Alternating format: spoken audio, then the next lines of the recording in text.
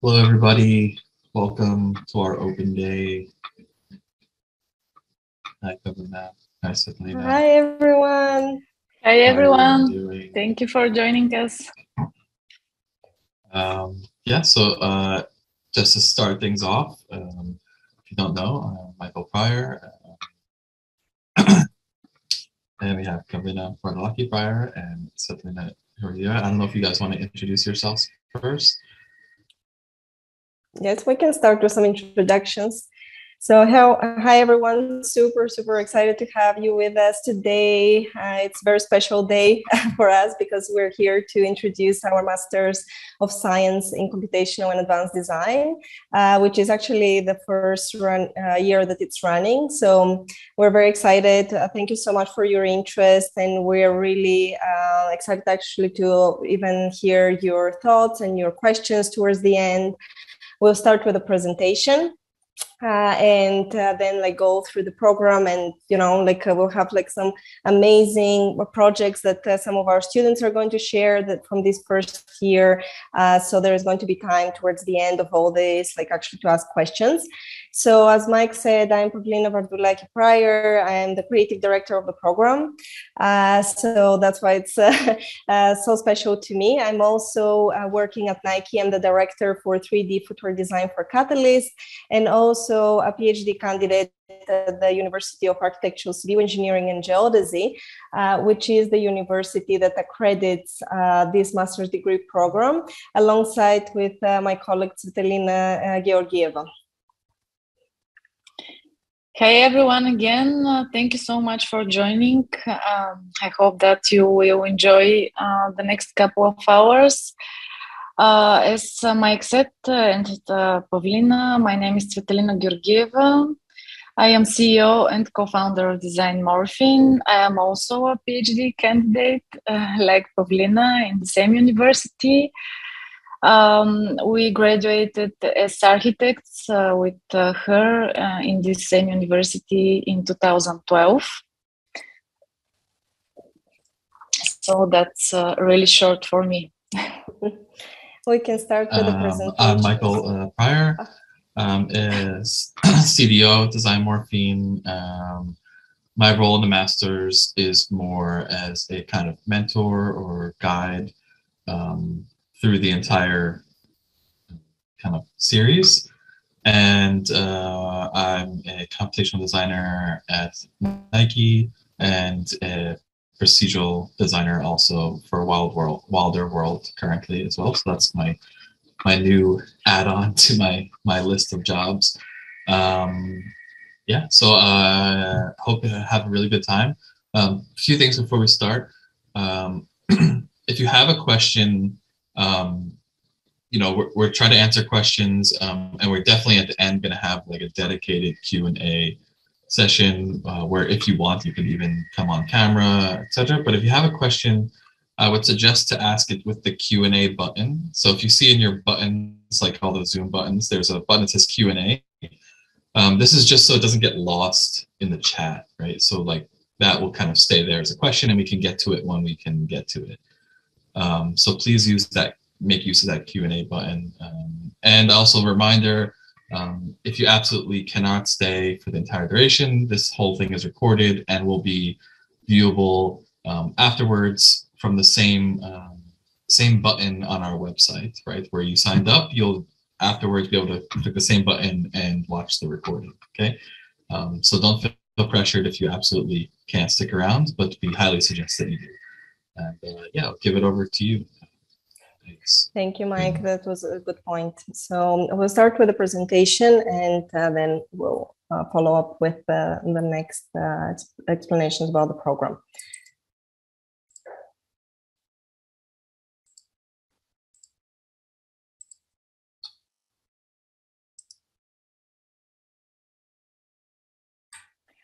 So, um, Design Morphine's journey started uh, back in 2014, um, and through this creative platform, uh, we are able to connect with people, empower them, and fuel uh, their passion for collaborative design.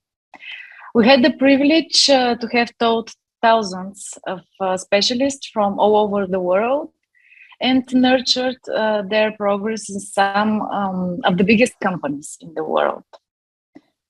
Uh, design morphine is a catalyst for collaboration with people uh, who we admire deeply as individuals and also professionals. The team is comprised of, thir- uh, of 43 uh, talented architects and designers and a number of collaborating organizations, which gives us a multidisciplinary approach to design and its education across a gradient, gradient of applications. Uh, we are a community dedicated to academia, uh, but we are also all professionals who practice our craft daily, and this allows for versatility within the team. But also, we are in a constant state of learning and bettering ourselves. Some statistics uh, we have taught students from over 82 countries uh, we traveled uh, in so many cities around the globe, like Dubai, London, Vienna, and many more. Uh, we created projects on many different topics like robotics, virtual reality, um, and many more. Our pedagogy surpassed the teaching of uh, technical skills uh, since we always challenge our students to give their best. First and foremost, we are a community. And as such, we support our students' dreams and we empower them. Many have been accepted uh, to universities like Harvard, the Architectural Association, SCI-Arc, or have been accepted to work at the Hadid Architects, Foster and Partners, um, Nike, Moonray, and many other reputable offices. Some past examples of our students' work on multiple scales and topics like jewelry, architecture, installations. One thing always connects them, and this is the experimentation and unique workflows. And as you may see, we're heavily invested not only in the virtual world, but also in fabrication. We also collaborate on product design with our partners. And one example that I'm sharing now with you is with the amazing Arturo Tedeschi. We created this uh, suspension lamp called Horizon, which encapsulates a free-form 3D printed shape within a handmade glass shelter manufactured in Murano, Italy. It was also exhibited during Venice Glass Week 2020. And if you are interested uh, to learn more, more about design morphine and our newest endeavors, uh, you can you can always check um, our social media channels and also our website. So today I'll start with something that is uh, in the core of uh, design morphine, which is computational design and which is actually the application of computational strategies to the design process and it aims to enhance the process by encoding design decisions using a computer language. Um, so isn't the computer uh, actually using a computer for design a computational design that one might ask and it's actually a great question and that's what we're here to answer today um, so basically, in the beginning of the profession of architecture and design, designers drew by hand, and each stroke of the pencil was informed by the need of documentation. And as technology advanced, drafting boards and pencils were replaced by computers. However, the process of design and documentation remained exactly the same, only the medium changed. And that's how we arrived at something which is called CAD, which we all probably know. Uh, it's a computer aided design. Uh, which is essentially uh, copies existing physical actions into the digital. Uh, so the computer is treated as an aid rather than a contributing part of the design process. Uh, this is a chart of the most used CAD commands uh, and which of those are mostly used together. And if we do all these commands and understand the repetitive processes uh, and uh, patterns of how we use them and how we can actually optimize the design workflow in a way that lets the power of a computer truly help the design process. And we arrive at the beginning of computational design thinking, which is defining the parameters and rules of design Uh, but having the computer processor executed, design becomes a series of operations that can be adapted to multiple um, situations and conditions. Computational design it's nothing else but actually a mindset. And a great example it's actually this of anthony gaudi's la sagrada familia uh, which is an ecosystem of geometry that emerges by the set of rules led by the structural stability of the stone the geometric, the geometric language was documented in manuals that were destroyed during the Spanish Civil War and today, computational design is the key to restoring the original design intent since the building logic is encoded into the already existing structure of the church. A contemporary uh, extreme case uh, that we could actually uh, look into is the uh, Sports Hall of Fame by Trajan Architects, where a computational structure system was defined and was able to adjust itself to changes in the architectural form. The rules of the system create the structure, the architect creates the form, and sometimes the computation will restrict the form so that, so that the structure can work. This helps prevent the designer from making mistakes as well as frees up much uh, time from, from mundane tasks and lets the architect think more about the big picture gestures um, and actually the design process. So computational design uh, can be applied to any design field, and that's what uh, it's exciting about it, not only to architecture. Uh, and here we can see a great example of Zaha Hadid Architects and um, Stratasys developing a custom workflow uh, with repeated iterations between design and structural analysis. And it also utilizes material saving parameters developed by Altair Technologies. And in the video, we can see the program with parameters that they developed in order to allow the visualization of this chair and how it would look in different colors and with more perforations, etc. So it's quite an exciting way to think about design. It's very different from the conventional way of using a computer, right?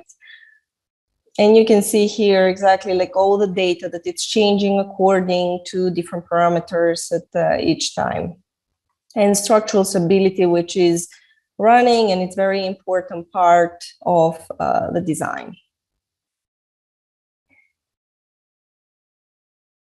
So computational design enables you to automate the repetitive tasks as we saw that, lets you prove your design decisions with real data and forces you to think of design in terms of chunks of processes uh, that can be used in many conditions. And the best part uh, for me, it's that computational design is multidisciplinary, it is multi-scalar because it allows for this mindset to be applied across all industries of design and that's what we see today. Uh, if, we, if we take a step further into the fusion of multiple software and hardware and use them unconventionally, that's where you find the most breathtaking and truly innovative design ideas. So we are excited to talk today about our for, um, our actually like uh, first year of our fully accredited Master of Science in Computational and Advanced Design. And the program is spe- uh, specifically crafted to be online. We aim to prepare the new generation of designers to thrive and drive progress in, and change in design, especially now when the fabric of all design industries is uh, reality is changing by the rapidly emerging new technologies. So computational design is actually uh, no longer just the profession of the future for all creatives, but it's relevant right now. And we see that uh, with leading companies hiring for computational and advanced designers uh, and creating these teams because they do see the value in that. The mindset and techniques and software taught in the program can be applied to any creative field, and that's the beauty of it. Uh, and this is uh, vital because it allows for this great versatility and diverse professional experiences. And this is the first year that we actually have uh, the program running. And um, it's really a privilege to be working with 38 incredible designers and architects from all corners of the world. Um, and uh, the distinctiveness of the program lies in some uh, of these key elements um, that uh, you know I'm going to mention actually, and uh, you basically get the unique opportunity of experiencing these different industries, as I mentioned: fashion, industrial design, architecture, urbanism, vehicle animation, robotics all through the lens of computational design. It allows you for great flexibility because it is online uh, and it is crafted to be an online education experience. Um, and as such, um, it uh, requires no additional expenses uh, like model making or uh, printing or 3D printing, uh, with the only exception of uh, the prototype where you will be creating your own swarm robots or robopets. Uh, so we are actually um, applying um, our own accelerated pedagogical methods that allow students to absorb information efficiently. We've been working with design morphine for eight years now. So we are actually um, you know like our we actually thrive into teaching new software to people with zero experience uh, and it's been more than uh, basically 15 different softwares that we're actually teaching in the program successfully and also, um, new students will gain access to over 30 educators and mentors and real life with real life professional experience from the best companies and universities in the world. It's something uh, basically unprecedented for a Master of Science degree.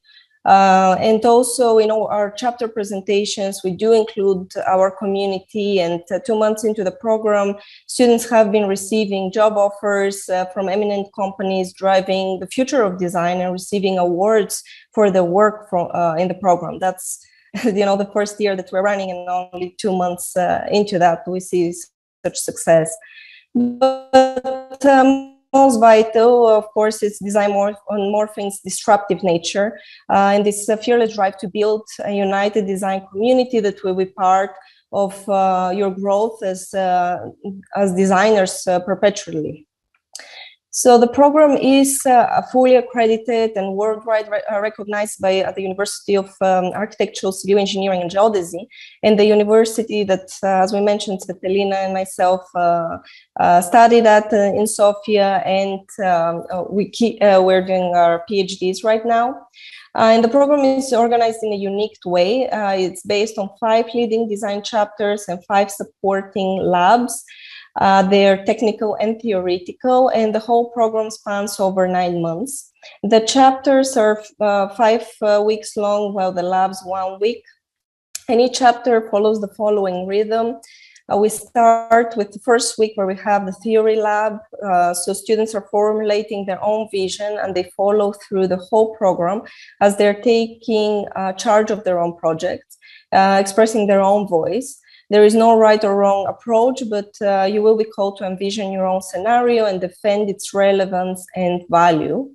Uh, moving into the next uh, week of um, the chapters, we have pre-recorded tutorials and one-to-one time with your core leads, and um, uh, you're preparing for the design phase of um, the chapter, which is in weeks three and four. And during the leading design chapters phase, that's where students respond to their scenario and start with the generation of the enhanced human body, and then they progress into the development uh, development of more complex architecture entities and build global systems and networks, reaching the final state of cosmogony throughout these chapters. And week four, it's where we have presentation preparation, where we invite again our partners and community, and it's a great way to gain exposure uh, and um, uh, to this community. So I will go through the chapters and give you you an overview and again like don't hesitate to ask any questions uh, like about any specifics that uh, you're interested to know. Chapter one it's about prosthesis uh, so everything that humanity has designed so far is based on the way that our bodies are designed. And the prime focus here uh, revolves around this technological and cultural prosthesis since technology can and eventually will um, shape not only our minds but our body also. So we start with a scenario-based approach and envision the fundamental element, the human body, and the technological future this body will operate within. We're looking into cyborgs, half machines, uh, half uh, um, and augmented beings. Uh, and um, actually, like the focus here as we start the program is actually polygonal modeling Maya and ZBrush. They're used in the animation industry, but they're actually used in foot, the footwear industry and also architecture at Zaha Hadid, at Mata Architects and other uh, offices. So we have um, moving into the next chapter, uh, we're actually, uh, the scale is going up and we're working with what we call a corpuscle. So the corpuscle are the living conditions and spaces that the body requires. And we work with uh, interior and exterior challenges, and we have to answer questions about ephemerality, mobility, adaptability, transformability. And this chapter is focused on component-based uh, design and user interaction systems. And again, like we're moving now from polygons to uh, the interoperability of uh, Maya and ZBrush uh, through Rhino. Uh, with NURBS subdivisions and also Grasshopper. Uh, it's a unique workflow which is really empowering because it just gives you the ability to really make anything you imagine. Um, in chapter three, which actually we are going through with our uh, uh, students of the first year right now, uh, which is a very, very exciting chapter where we're looking into uh, what we call these living cells and uh, how they actually develop and create communities and clusters. So it's the very question of what constitutes a community of people. And we also examine how external conditions impact and shape these living and public spaces. We're looking into generation and optimization of rule-based uh, structures. And here parametric design is lead, uh, parametric uh, design, generative design with Grasshopper. Uh, so we're really diving uh, deeper into um, the uh, computational design in this chapter. And moving into chapter four, that's what is kinesis. and um, as you can imagine from the name, uh, we're focusing here on vehicles and expand into various complex structures weaved together by transportation and mobility systems. So we're looking at uh, horizontal, vertical, uh, underground, organic growth-based systems. And now we're moving from Maya uh, and ZBrush uh, towards Houdini and particle simulations and flows, uh, which is something quite exciting because Houdini is really, really uh, taking over because of uh, all the abilities that the software has uh, dealing with very high complexity. So it's a great opportunity actually to work with it in uh, chapter four. And uh, last, we have chapter five, and all these previous stages are leading up to this stage in which we develop and access the larger scale of our envisioned worlds the city. So by zooming out, uh, new challenges arise in terms of uh, increased complexity and encoding behavior will be the primary focus. So we're looking into C sharp, uh, agent-based growth algorithms with the Grasshopper and programming also with Visual Studio. So we're really going into um, creating these complexities that um, Grasshopper is going to enable us to do. And as far as the labs are concerned, as I mentioned before, you are going to start each chapter with a theory lab. So it's an absolutely essential and essential vertebra of all leading chapters.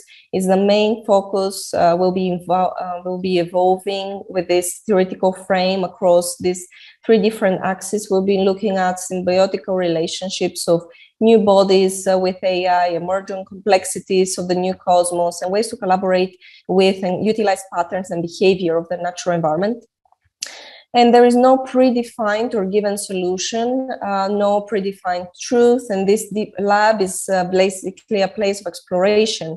Uh, this axis of the theory development will be given, but uh, some founda- uh, as some foundation to build upon. But the exploration of the structure and how it ties together will be up to the students. And we work with plethora of diversified materials like books, movies, anime, games, really TV shows, anything that actually inspires our generation um, and makes sense to you. Uh, we want to hear your voice. We want to actually empower you to be the best designers that you can. And uh, that's what the Theory Lab is here to do. Uh, the prototype lab uh, here, the main focus is the uh, basically like going through uh, prototyping, laser cutting, 3D printing, CNC milling, and vacuum forming. And the students are gaining an understanding of uh, these machines, and they learn how to prepare their digital models and optimize fabrication processes. Also, they learn how to utilize visualization software like Shapediver and other tools that outline a novel production workflow. But students will submit the, the uh, uh, visualized version so there is no real world model as an expectation uh, from from you. And uh, we prepare the files for um, exhibitions basically or when needed and we print them so there is no expectation whatsoever about like actually creating um, this uh, 3D printing these files since uh, the program is online. The Media Lab, again, an amazing opportunity. We have um, uh, actually coming into uh, teaching the first phase uh, about like rendering with Rhino, Grasshopper, and Maya. And in phase two, there is the post-production with Photoshop. Uh, we will be creating unique styles of rendering with a personal touch and obviously attention to detail. And um, we have also the robotics lab, which I mentioned earlier.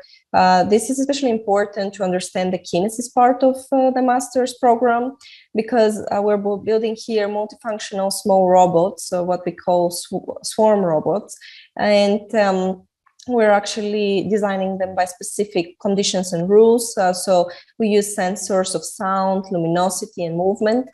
Uh, so we're dealing with aspects uh, as much as uh, material properties, geometry, structure, joinery, assembly, uh, programming sequence, etc. And uh, this is actually the only part that uh, you will be called to um, get the materials and Arduino in order to make your robot at home. And actually, like you know, like it's a lot of fun actually making those. Uh, and moving into virtual reality, that's another amazing lab that we're looking forward to with the students. And uh, that's actually very relevant right now with everything that's happening with the metaverse. Uh, so basically, it's how to shape these digital projects into an experience. This lab, um, the students will learn to utilize Unreal Engine and turn their projects into interactive uh, VR models. And this is um, uh, you know, like to make enticing animations, uh, to de- uh, to demonstrate uh, one's concept um, of uh, like from the chapters, and um, this is basically like an overview from all chapters and labs, and um, I'm looking forward to some of your questions later on. I'll give the word to Michael. And we'll have also some of our students present some of their projects soon. Yeah, so basically the students are going to be presenting, uh, we have five presentations and they're going to be presenting their chapter one and chapter two work.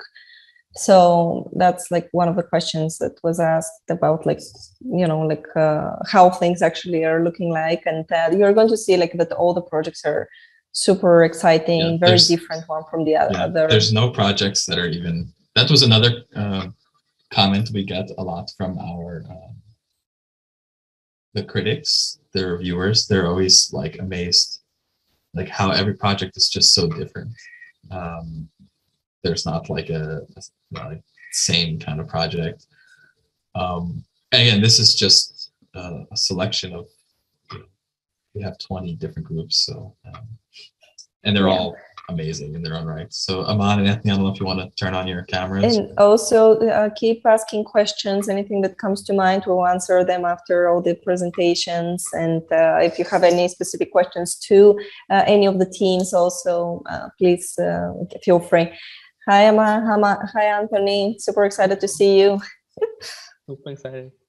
Hello. Hey, you guys hey, doing? I was trying to get my design more feedback on. I couldn't find it. it's okay. Um, you're you're the special one here with your. your yeah, I got my curtains up and stuff like. so I just want to quickly ask, like, how are how are you guys doing? How how are you guys feeling about the program? Just like short sentence or two. I don't know, just to start the discussion and move into your presentation. Yeah. Um, I think uh, there's something uh, something you you went over was the idea of working full time, and although we, I think me and Aman we can say we both work full time, but it's just that this this uh, this program is so uh, avant-garde. I'm gonna say because I've never seen anything like it before, and I've done a lot of like different uh, courses online, and never seen something so organized and so like new and different. And you hit all the spots by saying you can go into any kind of new upcoming uh, industry right now, in terms of be it CG, parametric design, and all that. Uh, I think it's an amazing program, and whoever has like second thoughts, don't just jump right in and even if you have a job, just do it. You'll love doing it. So yeah, that's kind of how I feel personally. Yeah, I mean, I'm always saying like, you know, it's like nine months, right? Like it's not even. Yeah, it's Over, it's, it's like over. It's over before you know it. You know, like, and it's just like a huge amount of doors you can open up in just like this short amount of time. You know? Absolutely, absolutely. Um, Aman, I don't know if you want to say something. Add, um, yeah, so before I joined the masters, I knew only Grasshopper a bit, so I wasn't really comfortable with any softwares, and I was always thinking that will I be able to, you know, learn a lot of softwares and you know improve the the workflow that I have. But it's been like how many, like four to five months or six months maybe, and I'm like really really comfortable with every software now, like including ZBrush, Houdini. So I've developed this sort of a workflow of my own. So yeah, I mean it's really really easy to learn with these guys. They're like highly highly professionals over here.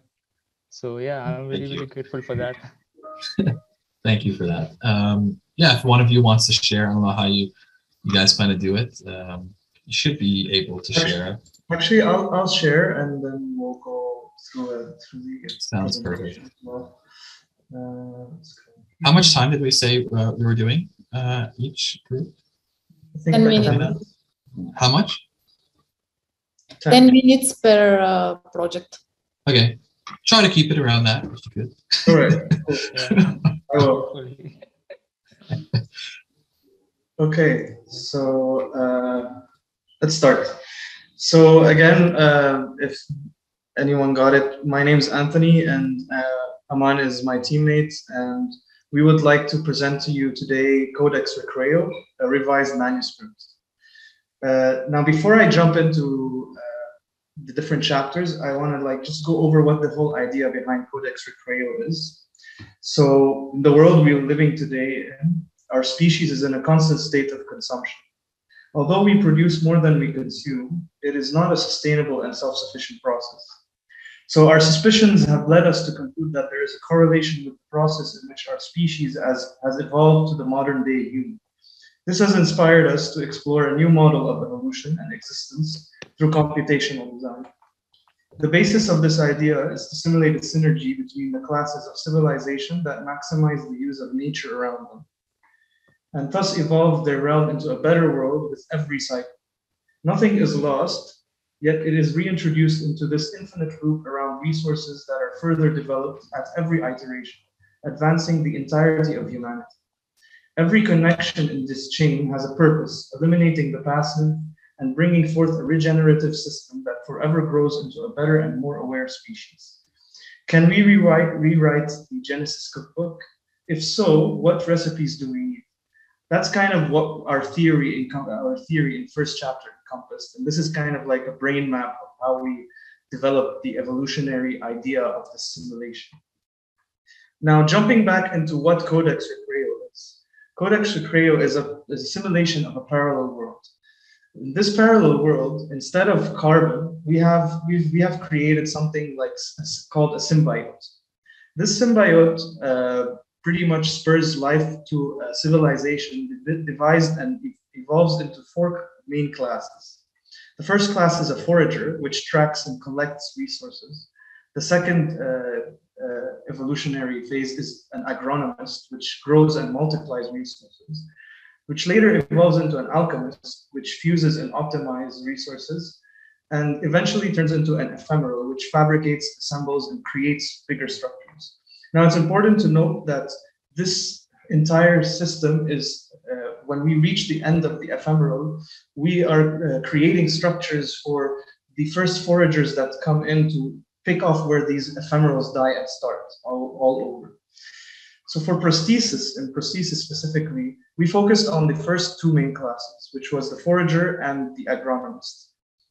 These main uh, first uh, preliminary classes of the civilization utilize mostly uh, the, limb, the limbs and ex extremities of their body. So when we first started in this chapter, prosthesis, we first wanted to establish specific uh, traits with through models that better represent these uh, functionalities that these uh, these humanoids would utilize. So we use tools like Maya, Houdini, ZBrush, a bit of C4D, some particle simulations here and there, just to, to, to kind of get a feel of how the symbiote aggregates around or propagates, better said, uh, along the body. So these were kind of like some tests, and over here we have some uh, preliminary renders, just you know, just test renders. We wanted to try out colors tests and so on and so forth. So once we kind of established the system, we uh, we we kind of knew that okay, this symbiote is kind of like uh, aggregating or propagating around from the extremities of the back and flowing down into the the uh, the limbs, uh, the further outer limbs of the uh, of the human. So we later then developed a, a, gener- a generation process of each of these classes. The first class, given that it's the forager, we started to uh, to create these um, scanning devices and uh, started to test different uh, models and meshes around the body. And eventually, we uh, kind of came up with uh, these specific different types and functionalities for every single part of the prosthesis itself in the forager specifically. So we have tracking sensors for the eyes to track for, for resources. We have a symbiote armor setup, uh, some detection sensors on the arms for scrubbing for resources, and then which on the back is a resource collection unit. A scan meter next to the, uh, uh, the left leg, camouflage extension, and specifically a preliminary capsule unit on the right for storing seeds at later phases of evolution. I think now uh, Aman would, uh, will walk you further through uh, with the agronomist, which is the next uh, evolutionary phase of our human. All right, so I think we'll go a bit fast now. Um, so the next one, we come to the agronomist. So the forager, he basically fuses with something called as the growth catalyst to create another class, which is the agronomist. Now, as you know, the agronomist, his main function is the growth capsules, and he keeps on growing these capsules around on the body and these are some of the generations that he evolves into. So he has three different generations. And the next one uh, yeah. So in this you can see a more exploded view of all the parts. Sorry can you go to the next one? This one here? Yeah this one yeah. So in this one you can see a exploded view of all the oh, yeah it's yeah so, so these are basically the final renders which we have from the forager. So you can see his, uh, and each of the every, and each and every generation, he has a different ability which comes with it. So for example, in the forager, the final form, you have stuff like the scanning, the collection, and you have all the stats showing like how much can he do in his world. And in the next, um, and the next ones, you can see the, the agronomist forms. So in level one, he has growth and transform. In level two, he increases his uh, abilities as the prosthesis grows on his body. And that's, yeah. And I think you can just show them the last one, which is this one, which is the final. Uh, this, this is it pretty much. Yeah, yeah, this is the last one that we did. So this is kind of the last phase where we got within prosthesis. And uh, I'm not sure how much more time we have, but we're going to move on to corpuscle and see if we can uh, say say everything. So in the next chapter, we wanted to mainly uh, carry over corpuscle and show how corp- the corpuscle itself evolves as well with the classes that that further evolve in this world. So again, we are talking here about the symbiotes going through every class. And our corpuscle specifically happens in somewhat of a barren land, something similar to the early phases of the Earth where cont- continents started. Um, we, we start with the forager unit, which is where the forager starts to dig deep into the ground and then starts to create specific small capsules inside the, the, the under the ground. And then the agronomist uh, unit is an extension where he starts to build uh, growth and seed generation pods as a surf at the surface of the ground. Further later on, there's an alchemist which starts to build these roots for uh, the ephemeral which sprouts upwards. Uh, a bit of, of a, uh, a, bit about the process that we took. So we took a base geometry and we've volume volumetrized it with some tetrahedrals and Houdini. We uh, used some uh, basic propagation uh, rules to uh, introduce these capsules within the embed them within the base mesh. Then we used the shortest path algorithm with uh, a bit of a handy tool called the cost attribute in Houdini, which was able to give us more precise results and these nice branching, which we like to uh, refer to as these tunnels that gave us really cool interconnected tunnels, which you'll see later in the sliced uh, images. So our corpuscle is kind of uh, divided into specific sections, and each section is inspired by something within nature. So uh, as you can see in these uh, these references. And this is kind of the uh, overall look and feel of the corpuscle. So basically our corpuscle is in constant motion. It, it starts from the, the, surface of the ground, it goes underneath, and then it starts to surface again with the capsule pods, and then it blooms out as a flower. Uh, Aman, you can keep going from here. Yeah, I can, yeah. So this is basically just to show how the corpuscle syncs with the uh, environment where you have the first few stages, which is the forager and the agronomist, they're basically they're basically um, underground, and as you know, as it evolves, it basically blooms up vertically into the other two classes. And if you go next, hmm. yeah. So this one um, is basically showing as a sectional cut from the plan view, showing how the spaces are arranged inside a corpuscle and it shows you the linkage of the forager, which is all the way, all the way at the bottom in purple, to how they link to the other classes in green, orange, and and uh, the last one right. is yellow. and yeah, the next one. Next slide. Yeah, um, yeah. it's not changing. No, yeah, it just changed. Sorry, yeah. Um, so here on the left, you can see some of the sectional cuts that you can see inside the spaces, how the spaces are inside. And on the right, you can see some of the early initial visuals of how for the spaces of each class. So in the forager, you have this very organic sort of a feel where in the agronomist, you have this sort of sort of a void which the capsule gets fitted in. And the last one, which is a ephemeral, is like more of a heavenly sort of a feel and the next one we just yeah so in mm-hmm. this one we were just preparing for the next chapter which is the amalgamation which is like just aggregation. So we were just thinking of very simple ways how to aggregate the entire corpuscle and yeah these were just some of the very you know initial ideas. And yeah then here here are more of the exterior the views from the corpuscle and how it actually looks with the color theme um, next one. Some renders. last one. Just yeah, some renders. Some renders that we have. And this is mainly the yeah the final corpuscle from outside with the environment. Yeah. And that's pretty much it. Thank you. Yep. Thank you so much. Thank you so much. Amazing. Thank you so much for that for your your uh, presentation and a, a, glimpse into your work.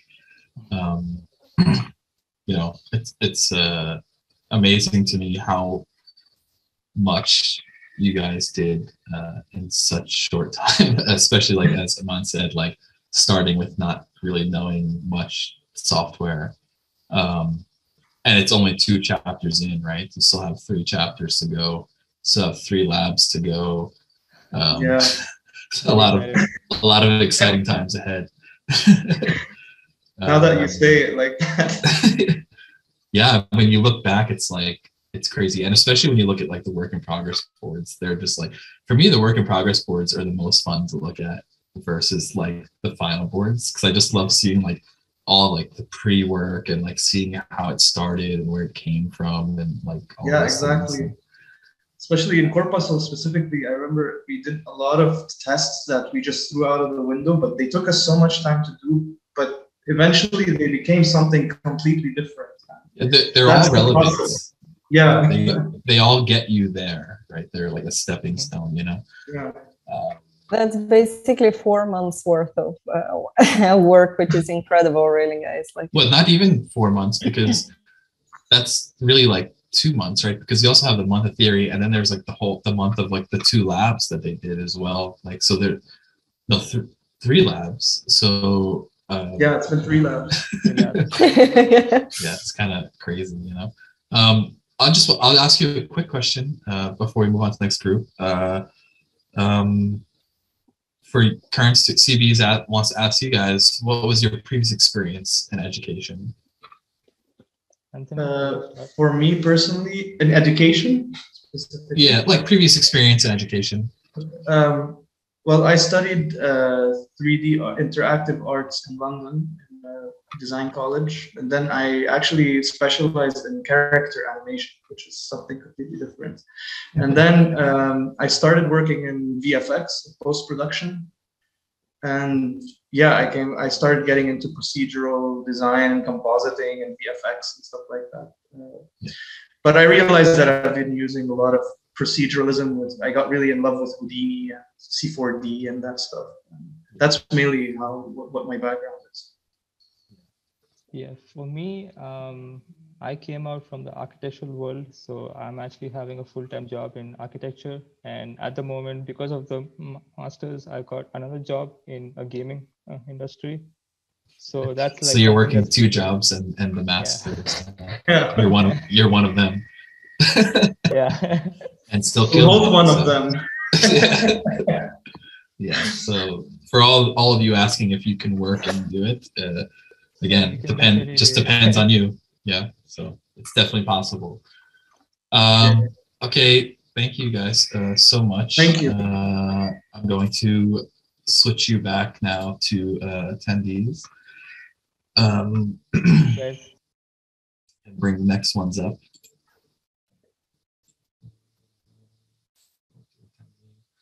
Um, um, where's where's Ava? There you are. Let me bring Ava up here. Okay, well, Ava comes in. Uh, Anastasia is asking, um, are the team uh, consistent through the masters or the partners switched? Uh, your your your team is your team through the entire entire thing. You, which is also nice too, because you kind of create this this kind of. Hi, Hey, how are you doing, Ava? It's going awesome with a wonderful presentation. yeah, so glad to have you here. Um, before you start and we just get into it, I'd like to ask you. I don't know how how are you feeling? Um, how are you doing? How are you feeling about this? Super amazing. program?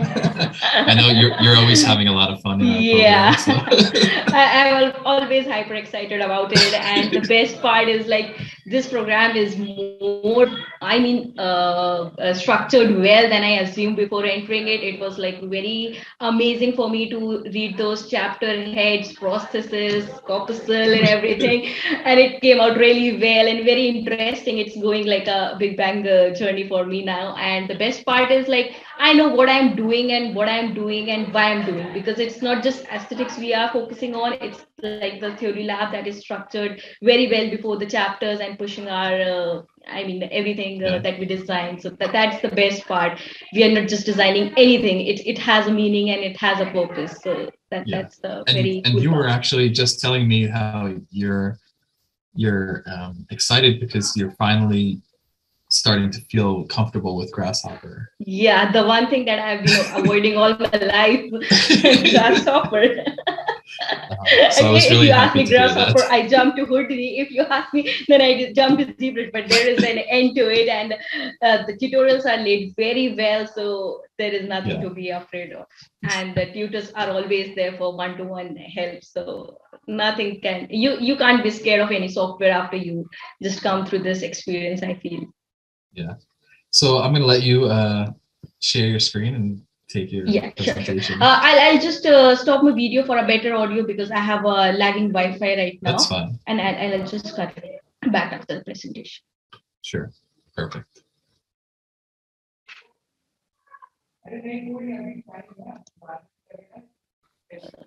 sorry, do I sc- uh, share my screen or? Uh... Yeah, yeah, just share your screen. Okay. We see it. Okay. Uh, hello, everyone. My name is Eva, and I would like to introduce my project, Immersive and Interactive Mnemonics. Memories are very crucial for humanity and have shaped us and our environment since our birth till today. So in our project, we are imagining a world where we can not only extrapolate memories as data from human brain, but also use that data as a pigment of art where everything is in a constant change. The focus of this study is to apply neuroscientific ways and available technology to propose a different way of perceiving the world.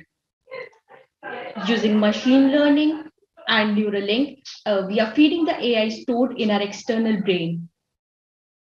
Building aesthetic inspiration from hard surface modeling incorporated with organic skin, we started designing a central nervous system for prosthesis.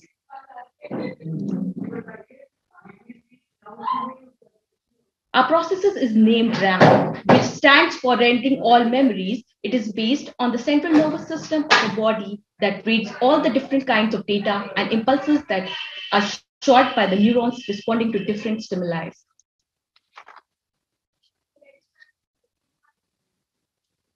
RAM consists primarily two parts, the external brain that collects the data from all the locations of the brain that are vital for human emotions and memories.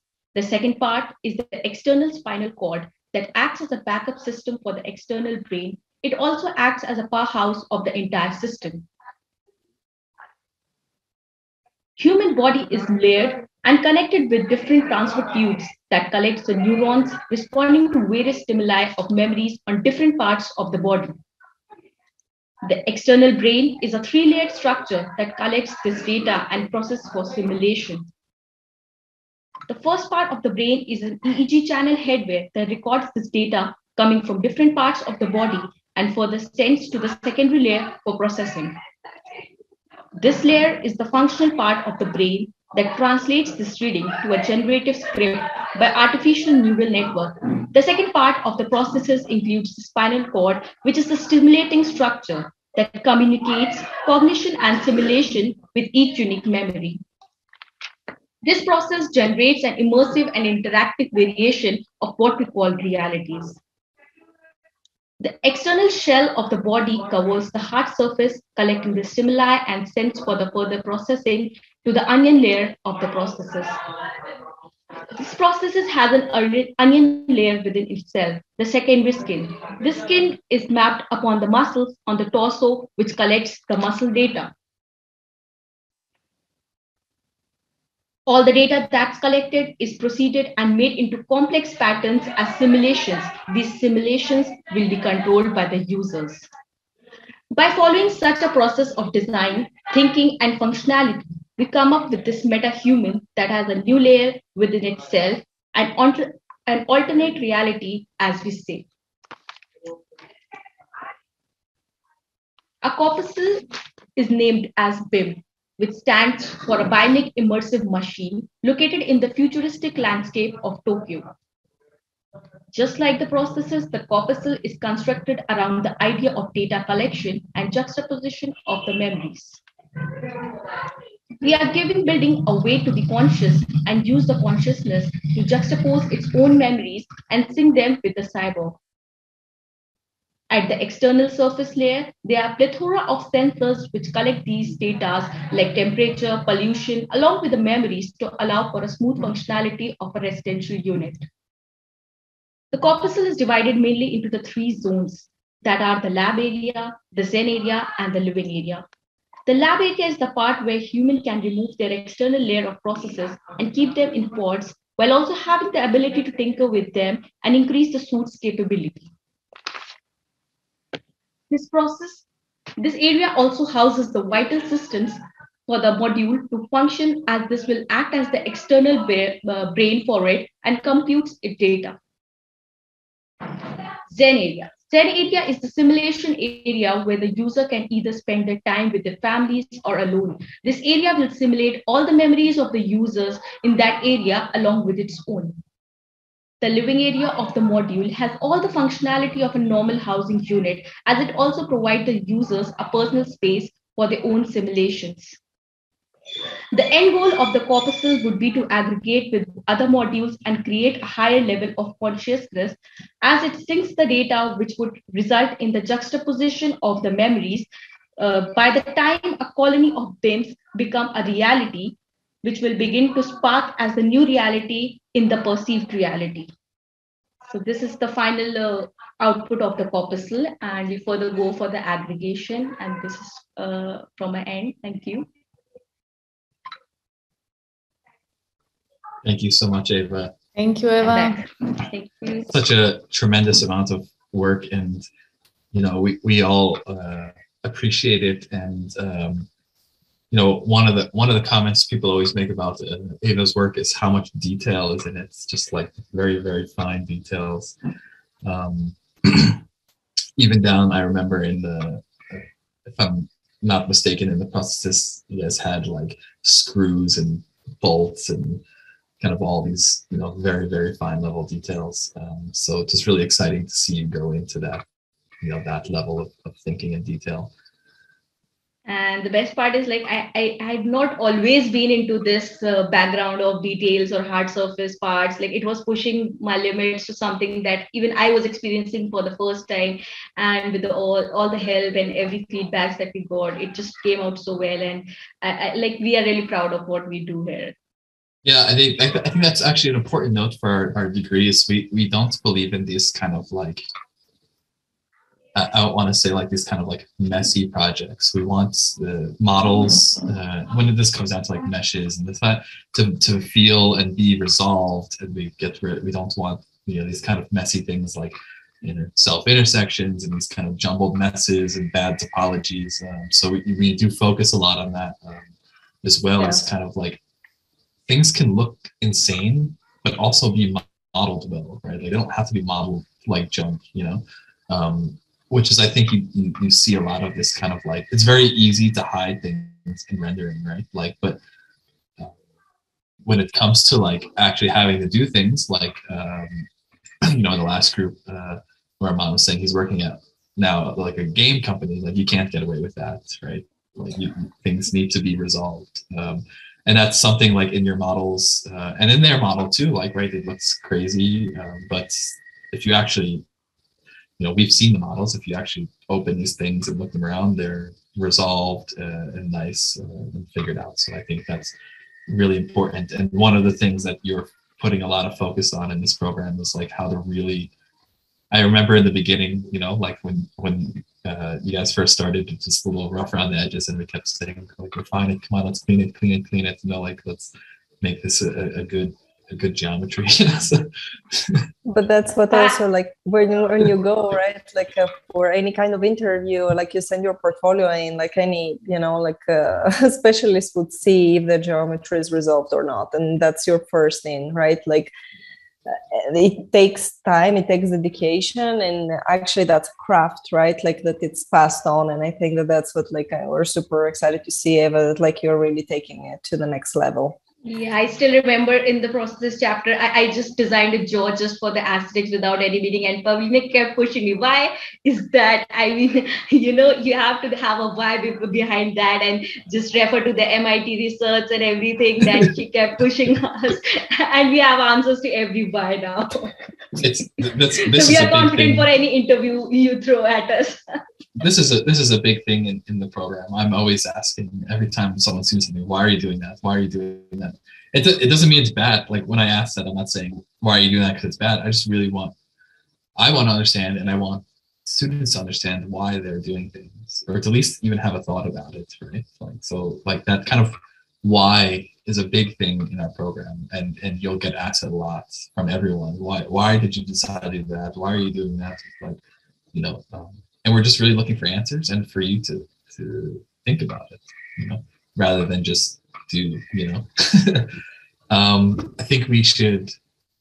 I just on. want to ask one question. Actually, Eva, what was the biggest surprise for you coming into the program? Because you're in the first year, right? There weren't students before you. to ask any questions or to see any uh, any work like what was actually the the most exciting thing or thing that like you weren't actually like expecting to to see or to uh, I actually actually that that was my opening statement like i never expected it to be this structured and detailed program as like I came with the expectation and with all the mentoring and tutoring one to one. That that is like something even if you're just walking by like a beginner with no background experience you can ace it like if you are very dedicated to it no matter you do a job or you are not doing a job but if you're dedicated to this program you can definitely nail it it was like this is this comes from my experience and i'm uh, very happy to help if anyone has any questions about it and my experience or anything about it and if you have walked till here there is no going back yeah so we we yeah i mean the the you know the the I think the important thing there is like we, I think it's fair to say that we'll kind of always give you the time you need, no matter. Yeah, that's why I say that you don't sleep. yeah. Well, with all, with all the help and everything, he even manages to pull off the free webinars and workshops. we just discussed that he never sleeps. yeah. Yeah, that's the joke okay. of Mike. I was trying to figure out when does he sleep. okay, okay, thank you guys. I won't take much more thank time. You so thank much. you, thank you. Thank you, Eva. Um, so Michelle's asking why don't we use Blender? Free, whatever, whatever. Uh, yeah, I mean, we have nothing against Blender. Of course, it's a powerful tool, but um, we're we're focused specifically on um, industry standard. Um, right now, Blender is still too too much. Um, how do you say? Um, I, I don't even know the word I'm looking for. Like kind of like small studio or like freelance kind of uh, thing, which is awesome for that. Um, but yeah, I mean, uh, again, like we can't teach every single thing all the time. And also, like Blender is like, if you know a poly, if you know how to polygon a model, you can pretty much figure out how to polygon model in any software, right? So, you know, we could also say like, why don't we teach Cinema 4D, right? Like that's probably bigger in the industry than than Blender. Um, but for us, you know, the, the biggest one and, and still is an industry standard in, in most uh, VFX houses or, or even architecture is Maya and, in that aspect um, and Rhino Grasshopper. So that's why we just we just focus on like the, the bigger of the big. But again, that doesn't mean that the skills aren't applicable. I mean, even like actually a funny thing, Ayub, who's who's uh, doing the um, what is this role called? The core core lead. Uh, he's yeah. filling in this month as a core lead. Um, he actually takes before we we knew him and this he was actually taking all of our CDNext and webinars, but following them in Cinema 4D. So he was doing everything we were doing, but doing them in Cinema 4D, right? So you know a lot of these things are interchangeable, and there's just so much software out there. So that's I mean that's really the only reason we don't do, use Blender is it's just not the it's not the most relevant in terms of uh, career opportunity at the moment. That could change, um, but as of right now, that's that's really just the reason why. um, you know, we want people to to work in the industry. You know. Uh, okay, let me bring the, the, the next ones up here. Um, if you can raise your hands. Uh, yeah. Oh, raise it again. Sorry, I accidentally picked lower hands. There we go. Uh, promotes.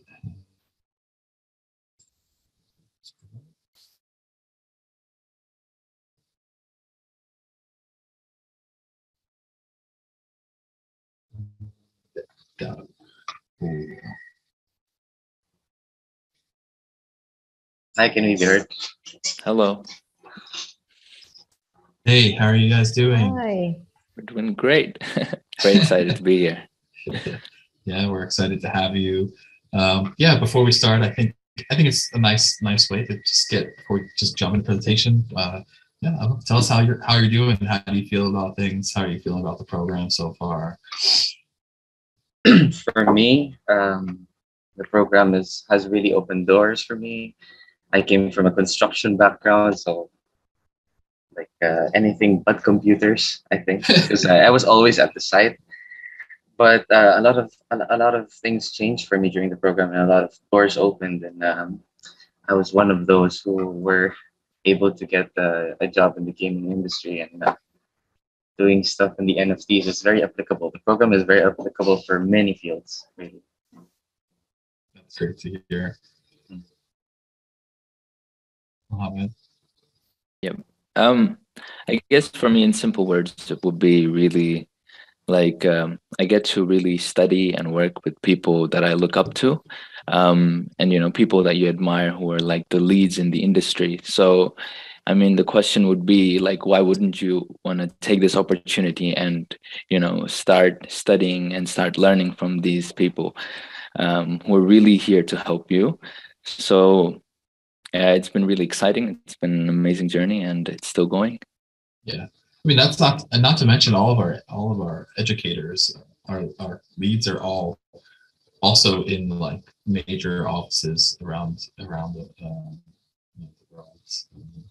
And you have like me at Nike. You have a lot of people from like Zaha, Big, and know, just a whole bunch coming in. You can look them all up on our on our website. You can actually just click the names and you can see their profiles and about them and where they work. And, um, but I'm sure a lot of you know them already because they're all like pretty known people kind of in this this in uh, this field of computational design. So uh, yeah, I'm going to let you guys get into it if you want to share your screen.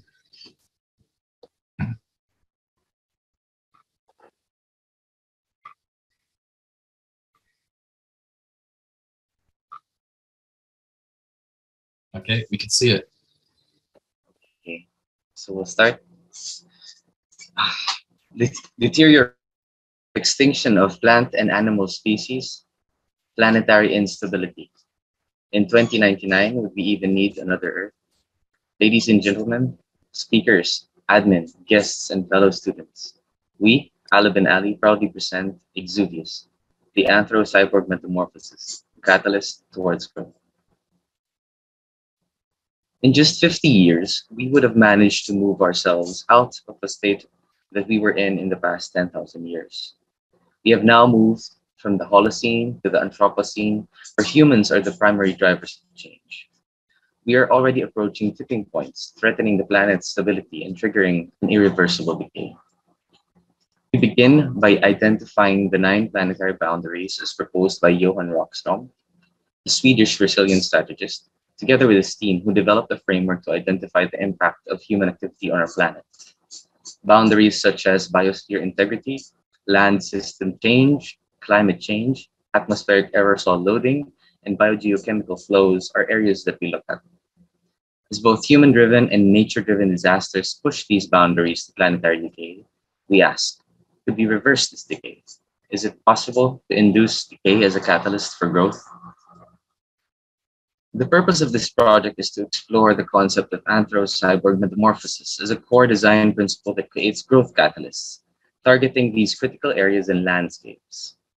The anthro-cyborg metamorphosis encompasses a harmony of anthro, meaning human, and cyborg, being symbiotic with nature and machine, creating a molting cocoon that grows the user, the environment, and the succeeding levels of design. The metaphoric cocoon is embodied by a molting exoskeleton, which is a feature among invertebrates, arthropods, various insects, and crustaceans. Through the exoskeleton structure, function, and layers, design principles are created to revolve around two main objectives. First, the exoskeleton is a growing medium that stabilizes and recovers over time. Secondly, the, the exoskeleton undergoes molting, wherein it decays into materials that are usable and upcyclable across all levels of organization. Through research of organic or of various technologies and organic bodies together with intelligent mach machine, it enters a state of symbiosis to, to form an exoskeleton.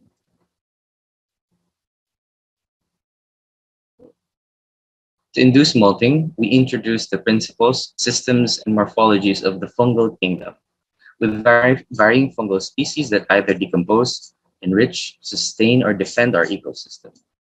With the ability of fungi to metabolize harmful substances and generate fertile soil, we catalyze a single spore to convert a desolate land into an oasis of life.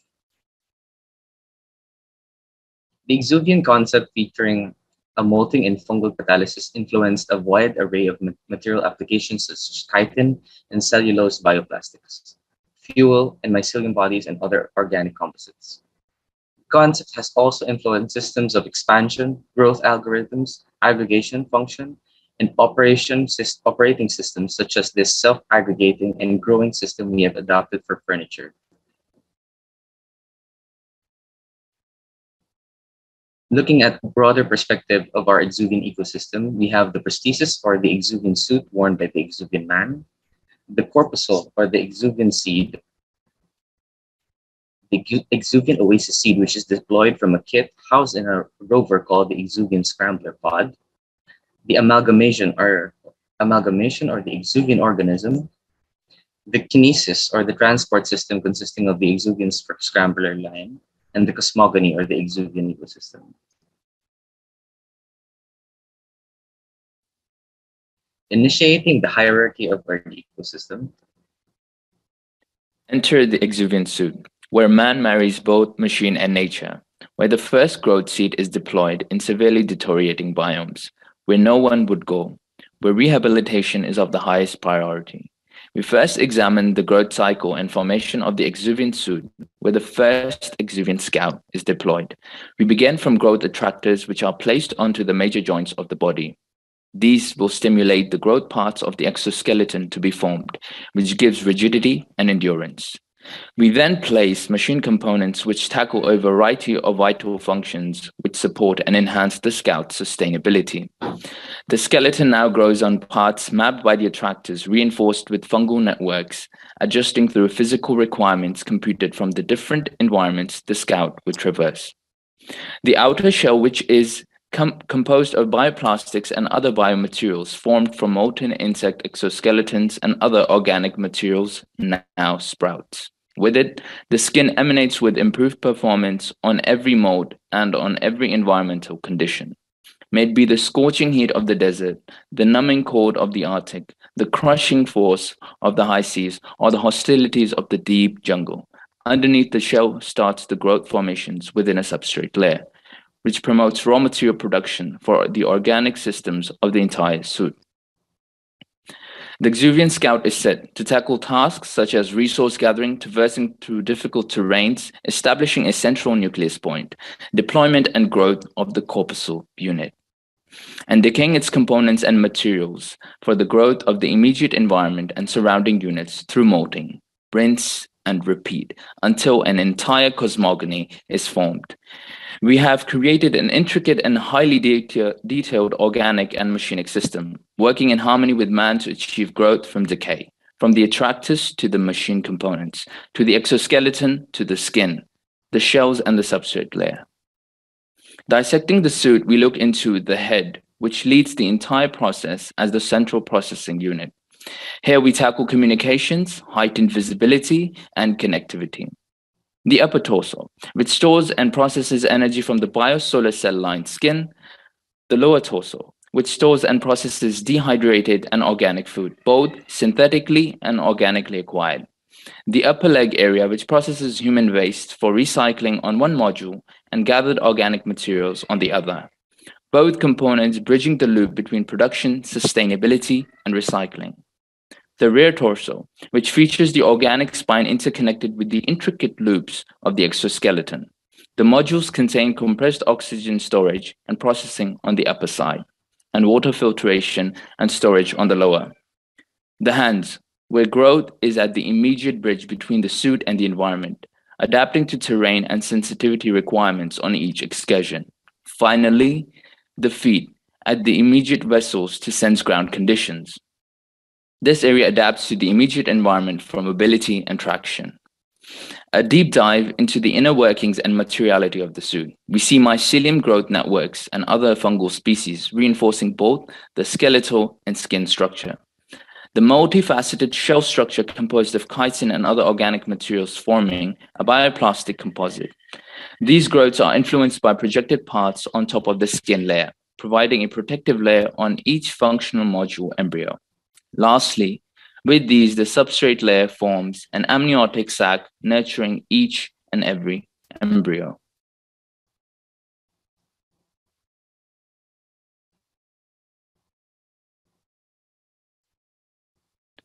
Moving on to the next in our hierarchy. we now introduce the exuvian oasis seed, which exemplifies the fungal growth system. This system features varying fungal species which function as initiators for our ecosystem.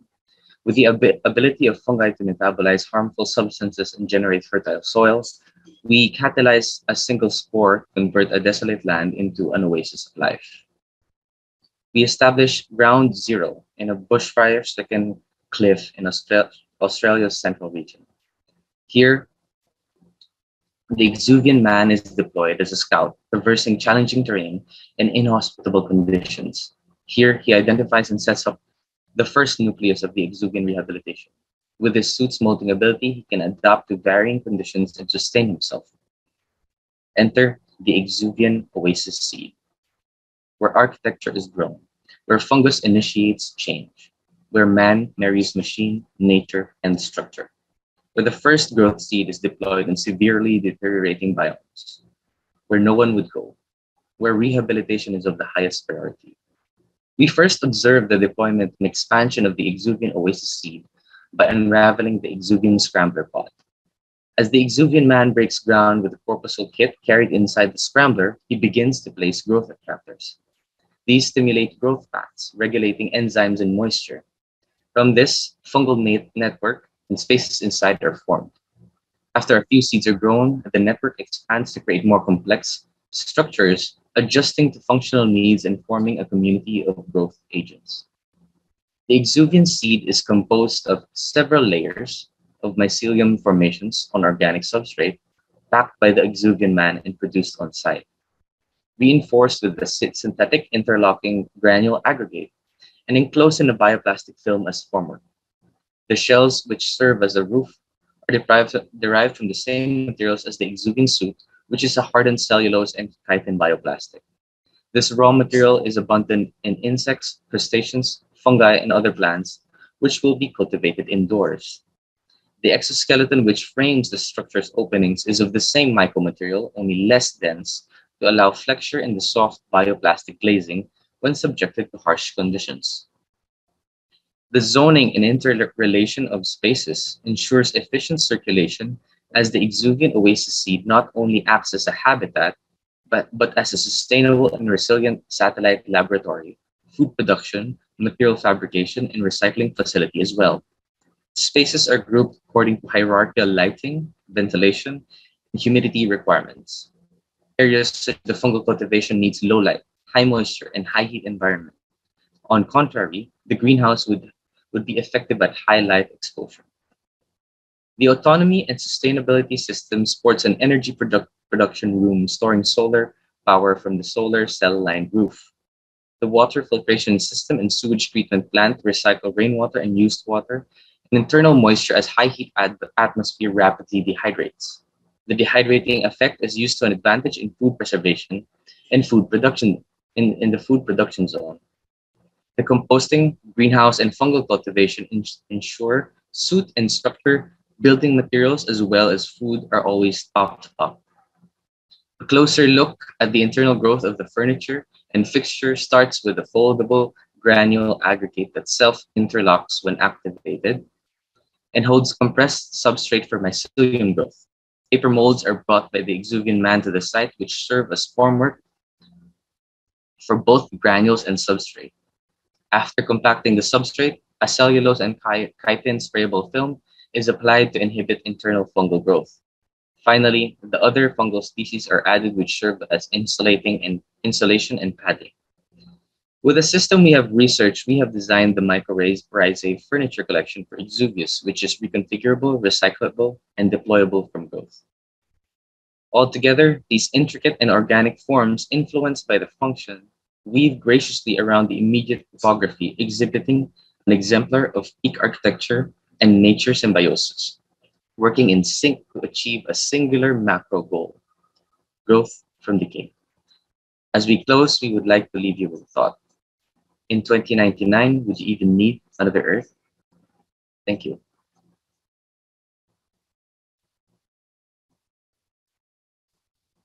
Thank you so much. Thank you so much, guys. Awesome work. Uh, Yeah. Even the down to the details of like all the furniture and all that. It's just really it's really cool. I remember I remember when I opened up the the mural that day and saw this whole furniture collection. I was like, man, these what are these guys are going crazy. Um, uh, I don't. I can just tell that you guys are having a lot of fun, and I think that that's really important to me. It's not not that you're just learning and you know doing, but also that you're kind of getting into it and having fun and having your own ideas about things is uh, really important for us. Um, I also want to note to everyone uh, watching and that we will watch this that uh, none of these groups knew each other beforehand. So that's really interesting to me as well, because I feel like you, you, guys are all becoming like best friends. Yeah. yes. Sure. Yeah, it's, it's, it's just funny because like, uh, just to not know someone and then just to get so involved with them in a project is kind of really unique experience, I think. We're like in a long distance relationship wherein you, you do this so first with each other with a video call and you know uh, wait yeah, yeah. this right does this look right yeah exactly mm. uh, really and I think the program helps that with that it really starts off with engaging us in a conversation where we really start to question very very core ideas where we come from and th- really get yeah. to know so that we delve deeper into these um, critical concepts yeah, I think you know actually, in, you know, in the if you remember, it seems so long ago, but it wasn't so long ago. In like the first two days, we basically had every student present themselves, um, but not just their work, also like their cultural backgrounds, um, what kind of things they're into outside of design. Uh, you know, as a human, as a person, not as just like these are the designs I made. Like, okay, we already know, you know, you've done some kind of design or you're interested in design. We've seen all portfolios, but like, how can we get to know you, you know, better as a person, right? And these are also things that are important because it also helps to form these kind of groups and you know that and also like where people they're live. important information for the matchmaker yeah yes exactly Pavlina is a very good matchmaker, I think. um, so, so yeah, I mean that's an important part of this this program as well. Well, thank you guys. yeah, so it wasn't it wasn't random, that's for sure. You guys like there was a lot of thought put into the groups and uh, really the passion and like the interest that you have, and uh, yeah, we're really glad like to see this uh, incredible work, but also exactly you forming actually you know like friendships and you know there might be so many other opportunities for you even after the program to really continue the collection oh i'll also like to add we have we have a lot of fun on uh, on teams in miro like you know putting putting like memes and jokes and leaving little emojis and stuff around i mean it's a lot of it's a lot of fun honestly it's a uh, it's a really good time so. Thank you so much, guys. It's really like beautiful work. Uh, keep killing it. Yeah. Thank you so much. Thank you so much. I'm gonna send you guys back now.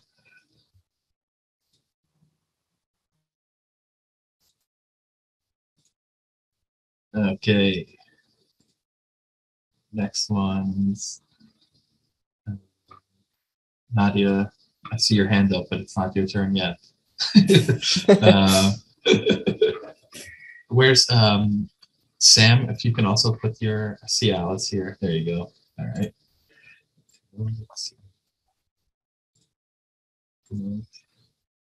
Nadia Scott got too excited. We're excited for your project as well.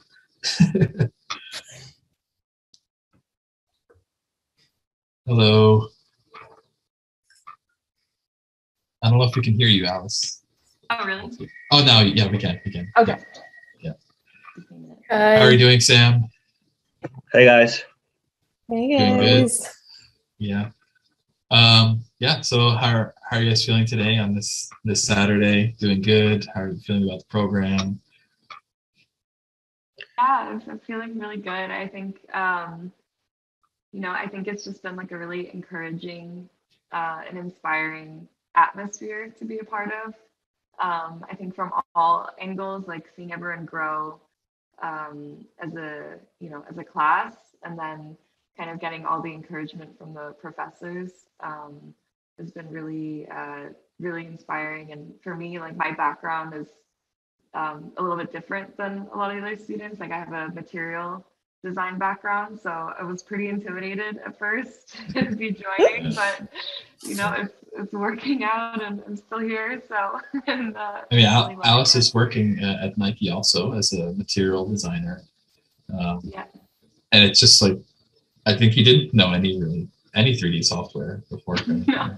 and now you're just like you're just killing it, right? Like, so it's it's really cool to see to go from like you know material research and material design um, yeah material when we talk about material we're talking about like textiles and stuff like that um, for like footwear and, and clothing. Uh, to this is like really you know really interesting jump for you and uh, yeah doing great. How about you sam? I will have to um, agree with Alice. This is uh, a very like inspirational experience, especially because you have like I mean all your classmates that are from everywhere in the world. We have like a hundred different time zones, and everyone is like creating all these interesting things, and you get to see all that creativity put together. And at the same time, you have all these professors that are also like kind of like all over the world and kind of like constantly changing and you get to be exposed to so many different things uh, at the same time that is i guess just a really like inspirational environment to be. Yeah. I mean and that, i think that's an important thing to mention too is like um, in our program nothing is hidden. Uh, everything like you know as a student you can see what all other students are doing at all times right? Because of the, the way the miro is set up right? So um, it, it's just it's nice to be in that environment right? Like it's not like you don't know what other people are doing or like everyone knows what everyone's doing all the time. And you see you know you might pop on there at I don't know some early hour in the morning and see some other students mouses moving around and maybe decide to have a chat with them or something you know so, um, yeah so i'm gonna give it over to you if one of you wants to share uh, share a screen Sorry for the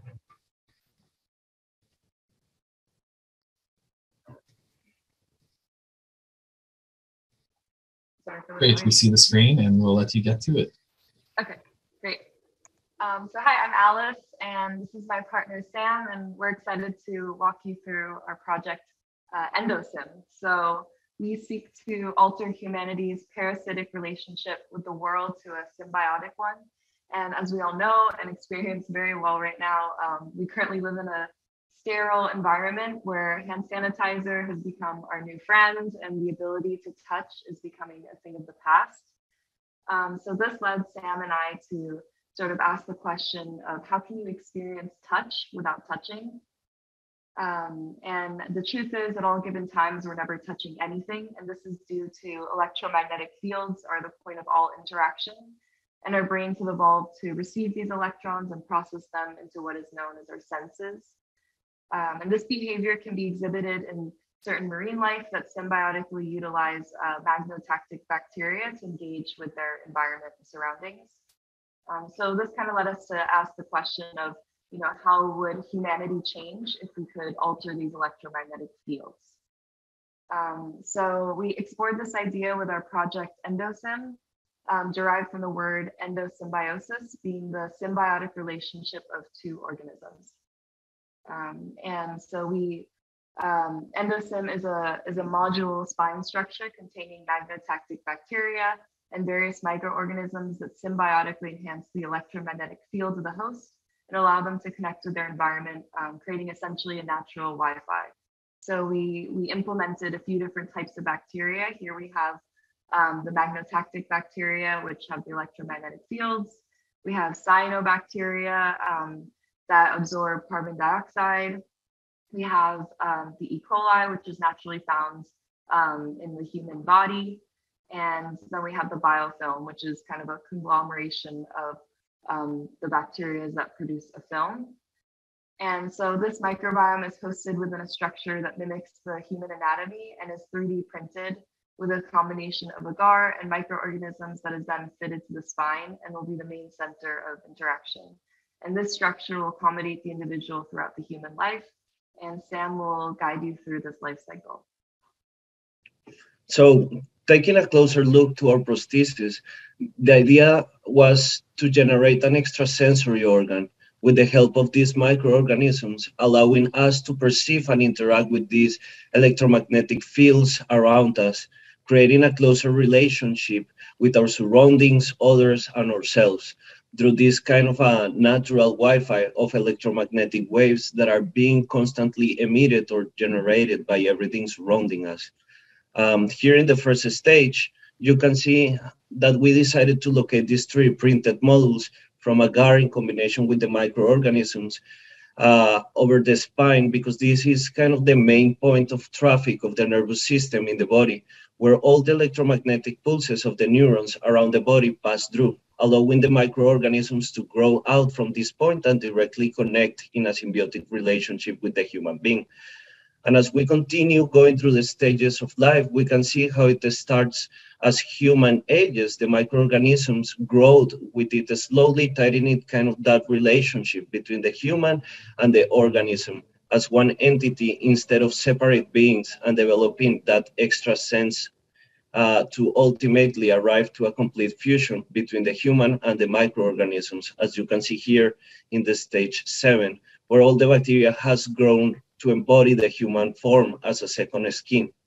However, as everything in nature has a start and an end, the cycle of life continues with the natural path of mortality towards a slow decay as we arrive to our final years of existence in the step eight and nine, where we arrive to the end of the human cycle at death, just to be completely consumed and transformed into nutrients for the bacteria to, reclo- to regrow and flourish starting again that cycle of life, where ultimately at this point our project becomes more than just an investigation on how do you touch without touching, and in a sense turns into a provocation, I guess, of two main truths that we constantly avoid.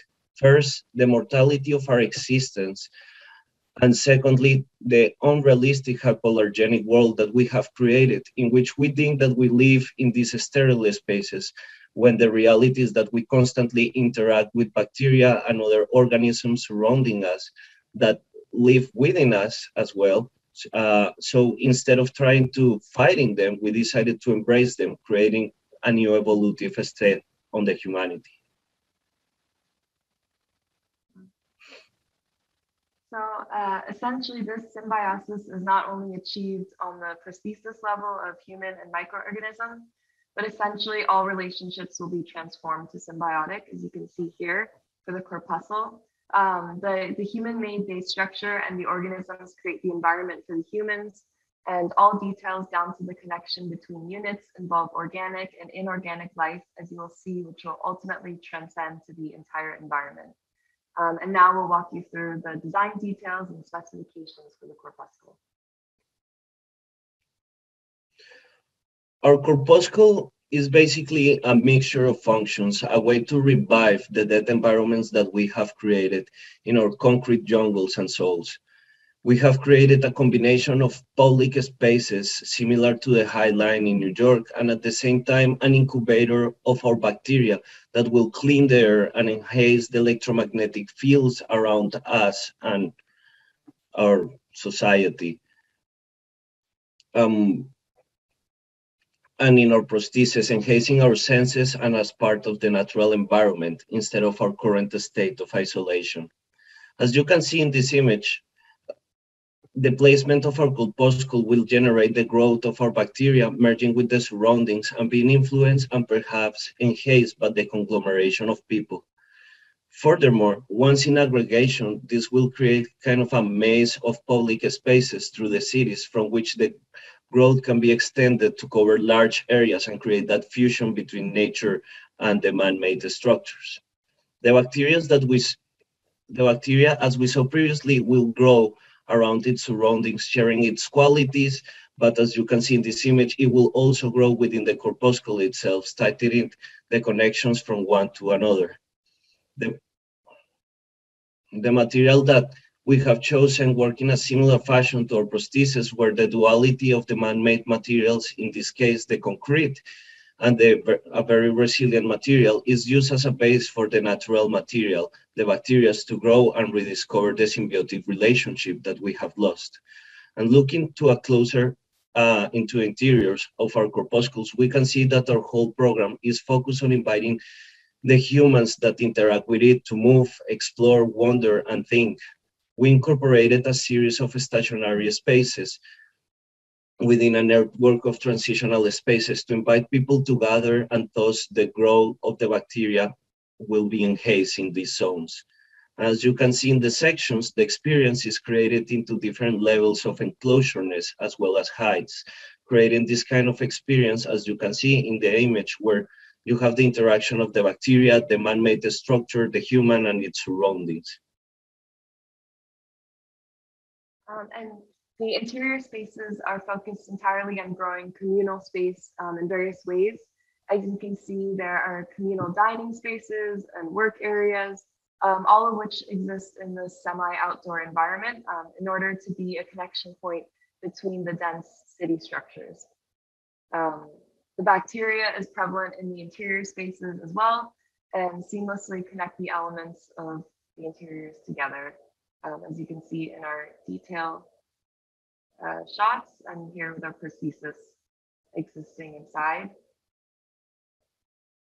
Uh, we landed on these structures by exploring patterns of growth in nature, similar to the way plants pollinate and grow, as well as lattice structures to host the growth using particle simulations and various grasshopper definitions reflective of these patterns. Similar to the prosthesis structure that served as a skeleton for the growth, the corpuscle will serve similarly in this manner. Um, and humans will create a symbiotic relationship by contributing and nurturing their corpuscle with the bacteria hosted on them.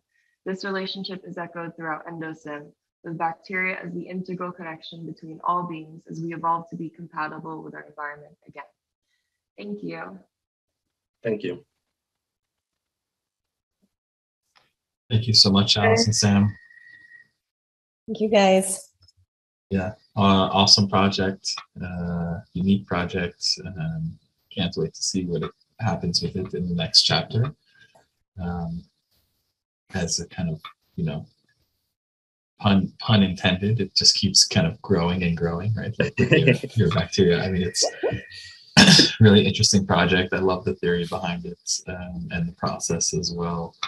Um, anything to add from you, Pavlina or Svetlana? No, I'm just super, super happy like to see you guys like exactly like having this unique voice and you know working so well together. And like you're both from totally different backgrounds, right? And like you're working so well. And uh, exactly like this theory lab was where all these ideas like came to life. And now you're taking it from one level to another. And i'm super excited to see what a world out of this uh, would be and uh, see the next chapters. Yeah it's really unique approach, and uh, this is the interesting thing in uh, in our uh, in our masters that all the projects are so different with uh, unique approaches, and it's always yeah. so nice to to see them. Yeah, definitely. I, I like the aspect of the storytelling, you know, because it makes you really care about um, you know bringing something unique to your own project and it, it makes you want to see where like how far you can push it. Uh, so it's exciting to to have so much connection with the work that you're doing and and seeing it come to life as opposed to like individual separate mm-hmm. uh, courses. It's important to have a, a, a, goal and something to attach the skills to. Um, you know, like I mentioned in the beginning, otherwise you're just making a bunch of random shapes, you know, like uh, there's always kind of like the technical skills and then like problem you're trying to solve, right? So the theory kind of like invents that problem for you to kind of attack with these these skills. You know, in, in the workforce, your problem is going to be your brief, like what is the what is the the project you're working on, right? So it's it's always important uh, to kind of have something to, to focus on, even when you're learning. You know, when I first started learning these things in Grasshopper, I, I actually didn't learn much from tutorials. Well, first of all, there wasn't many tutorials around when I started learning Grasshopper. Um, it was mostly through like trying to solve other people's problems on the forum like, like to, again like having having some problem to attach to and then trying to solve that problem it's like really the best way to force yourself to use the tools and, and learn them well thank you so much I have one question actually that came to mind. Like, I just wanted to know how did um, this like theoretical framework and like all the conversation that you had from the beginning? Because I know there were some intense conversation, meaning like you have some, you had so many ideas. You were going into research, looking into bacteria, trying to actually like even grow them. So um, I'm interested and curious of like how did this like process went for you and how did it enable you to get excited about the work and then you know use these tools to actually manifest it and visualize it right? Well I, I think we really went through the rabbit hole as they say uh, at the start. We started trying to like basically get like the main point of humanity in itself. We explore from philosophers nietzsche uh, camus etc all the way to quantum physics to try to like understand uh, what was what we wanted to like focus on and develop. And through the combination of both i guess is where we find out like the sense that you're never actually touching anything because in quantum mechanics like because of molecules rebellion they are always like uh separating each other so actually you don't touch things. And then like that became like an, a really interesting idea for us the fact that like our reality is based or mostly constructed by the way we perceive it but it's not per se the way we know it. And then at the same time we kind of have like that we'll call it kind of like sentimentalism of these like covid times in which we are so separated and so isolated from one another. Uh, and we kind of like mixed the two of them and started wondering well what will happen if you were able to like actually interact with other people without like thinking that you're physically touching. And that's kind of like what uh, brought us to like this investigation of how a better world hopefully a more connected and less isolated one uh, will work. Mm-hmm. definitely. I think and i think it was really nice opening with that theory because it really i feel like we got to know each other super well through it you know we're like we were just sharing so many articles and ideas and it was such a nice way to like kick off and get excited about the work that we're doing. So it was um, really uh, you know a, a, very like exciting and, and um, interesting investigation. So. Thank you guys. Thank you so much. Yes. great work team.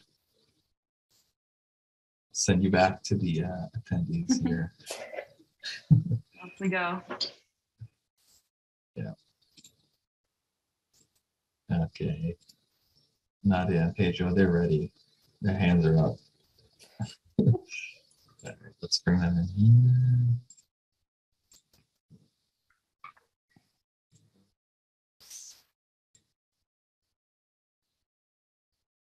Last presentation for the day. Excited to see it one more time. Hello, can you hear me? Hi guys. Hi. Hello waiting on Nadia. I don't know what's happening there. yeah, she's coming in. Takes a while. Yeah, we are sometimes. disrupted as always. Sorry about jumping in line. how are you two doing today? Um, and and how are you feeling so far with the program and, and all that?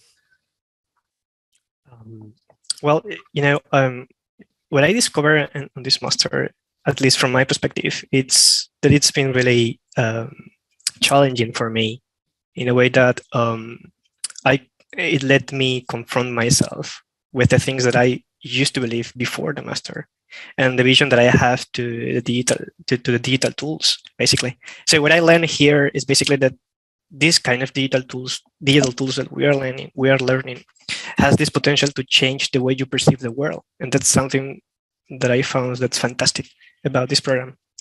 And finally, I just want to add something that even though we are surrounded by uh, amazing tutors and mentors, I might say that I've learned a lot, a lot too from my colleagues here, from my friends here, because you know they are a lot, they are professionals they come from different uh, disciplines and industries. So um, that's another good point uh, to be in this in this program. I learned a lot of some of them. Sure. Yeah, that's true, Pedro. You have this passion about computational and advanced design even before coming to the program, but I'm, I'm happy to hear exactly your perspective and how you're growing into it. Sure. From my perspective, um, I can say that I'm um, very pragmatical compared to my philosophical philosophical teammate, and um, uh, I when I first heard about uh, Design Morphine uh, master program, I was in my kind of career shift. I transitioned from design, uh, in interior design and architecture to industrial design world, and I thought that it's just I follow um, Design Morphine master, uh, webinars for a long time and i trust these guys like completely. And they say that if it will push my career it will push my design vision to the next level I trust and I joined without uh, any second thought. I just jump into it. And I'm really happy to be here because, uh, yes, now I have um, cool friends. I have.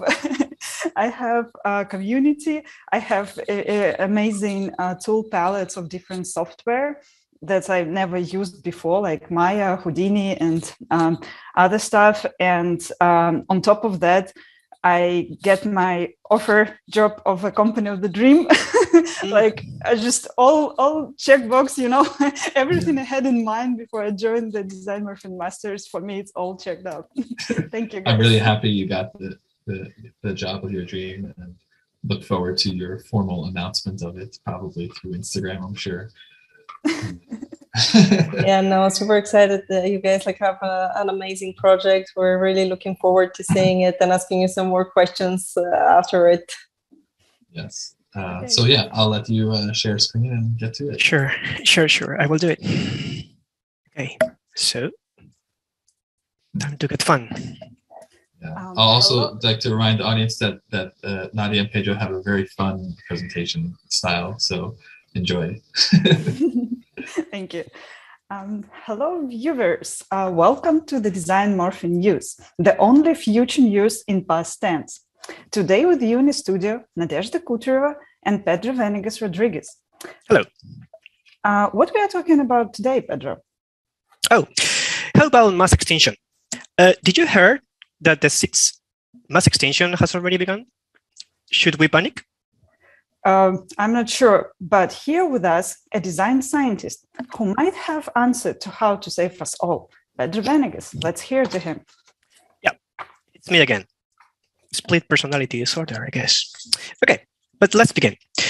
I want to introduce you to the Autonomous Living Machine Algorithm Project, aka ALMA project, the first experiment for a collaboration between humans and AI. Just you just need to know that all is about data. ALMA project is about the use of enhanced creativity for the sake of mankind evolution, a blending between human brain and AI brain properties working together to create a unique type of agent. Three core attributes are explored in this process, communication, data exchangeability, and autonomy. These attributes will guide us in our journey through time, space, scale, even language. So we propose a model where invasive implants and non-invasive wearables work together, enhancing biological and synthetic senses to unleash a synesthetic experience of the host, creating the most valuable material ever, data. Data that is analyzed by ALMA using the connective map as a knowledge library. Our goal is to create a cyber with biological languages and codes, thinking primarily in some of the most prototypical codes of nature, like transparency, translucence, lighting, colors, even sounds. Let me introduce you to our first host of ALMA, Cusco, the astronaut, and Zoe, the choreographer, volunteers, of course. They collaborate with their ALMAs on daily basis. Through ALMA AI abilities, they enhance different senses and areas of their bodies. Here you see uh, how despite the very same principles at the core, the ALMA intelligence in biotics looks very different. To go further, we need to go back to the backstage of the design. We wanted Alma to be friendly and approachable, and uh, we saw it as something living.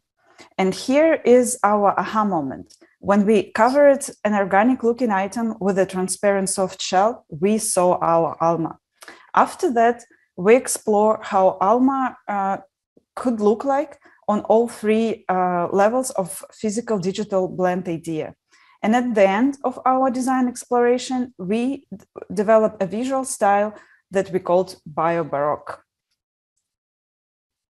Different layers conform ALMA, starting with main autonomous invasive implant, which is connected directly to the brain and the spinal cord, followed by the clothes or garments and sensors, which are those who collect data from their bio- the environment. Then, the wearable shells as the non-invasive extensions of ALMA, like the brains with the limbs. And finally, the physical data and digital aura, those who are the manifestation of what we call the soul fingerprint. Let's have a closer look at our study subjects and see what kind of technology allow us to fabricate such design. Advances in multi-material 3D printing and data-driven material approach give us an opportunity to create personalized design based on characteristic of our heroes. As we push it further, we print with flexible bio-based materials uh, with integrated vascular-like structures. It gives us comfortable to wear soft robotic pieces with microfluids inside to exchange the data. To visualize this inner data flow, we use bioluminescence. There are all necessary colors in nature already, and by mixing them, Alma enhanced humans will be able will be able to communicate on a new level. In addition to that, Alma also works with sensors that read data from the electromagnetic spectrum, from ultra low frequencies like brain waves to ultra high ones like gamma radiation, and sending this raw data directly to the ALMA main implant. Programmable materials technology is also proposed as the way for garments to work as big sensors, changing their form depending of external agents. For example, in the case of the astronaut suit and its transformation while exposing it to gamma radiation, signaling higher danger levels. Concerning autonomy, ALMA as an autonomous agent doesn't require to be connected to the internet in order to learn or take decisions. Here, it's where the edge computing technology is proposed as a base model for individuality. But collective properties are also introduced. After human lifetime, all the knowledge gathered by ALMA can be shared through a decentralized network to be read or downloaded by other agents, such as humans, artifacts, buildings, cities, or even planets. Here, it's where the blockchain technology kicks off with all its potential. And finally, the digital aura, as the highest level of communication, is the representation of a unique soul fingerprint. This is the language of the interaction between humans and AI, the language of Alma. And of course, much more things happen when humans interact each other, things we don't know. Maybe that's what emergence it's all about, isn't it? Now, imagine the interaction not only between humans, but building cities or even planets. This is what we are researching right now. So stay tuned for the end of this experiment. I hope this project will save us all from our doomsday. Una eternidad más tarde. Ladies, gentlemen, and Miss Mars, welcome to your new dream home, the Alma Corpuscle, where data is the key material for your happiness. If you have never heard about us before, let me introduce you to the story of our people, the humans. Not so long time ago, we, the Earthlings, overused our resources until we met climate crisis and mass extinction. To save the planet and our society, we enhance our biological brains with an AI synthetic brain, achieving new cognitive abilities for the unique creative agent who evolved to what we are now. We use central nervous system implants and many basic wearables that they gave us the ability to collect and analyze the data of the world, enhancing not only our physical limitations, but our cognitive abilities. And now you are about to take part on this experience. Thanks to our core attributes, communication, data exchangeability, and autonomy, you can be part of this new ALMA society and experience it in all places, dimensions, and scales, from the individual to the collective level.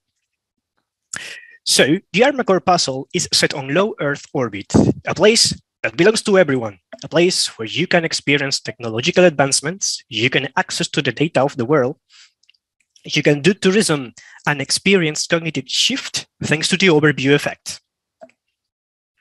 This Alma corpuscle layout consists on the core sitting inside the womb that protects and sustains life, being protected and powered by the chrysalis shell, and a virtual shell for data sharing purposes.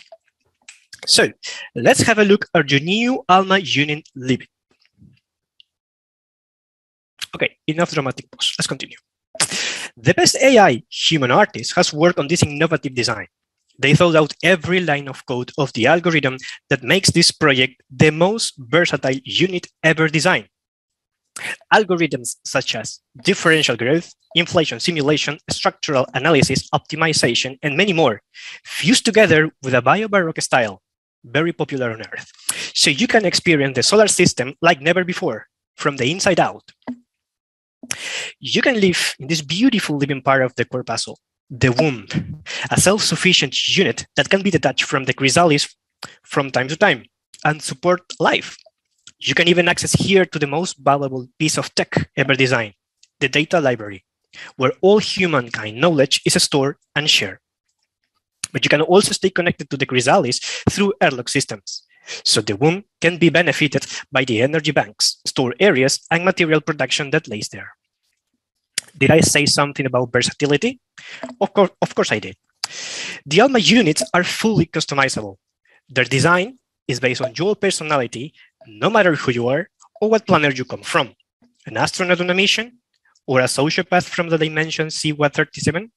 Our corpuscle units will shapeshift to accommodate your lifestyle and personality like never before.